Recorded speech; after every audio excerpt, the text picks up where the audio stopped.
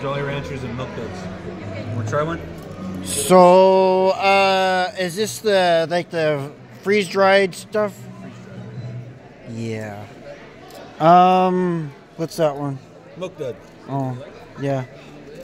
That one. Thanks. yeah, so he came over from oh. um, Good.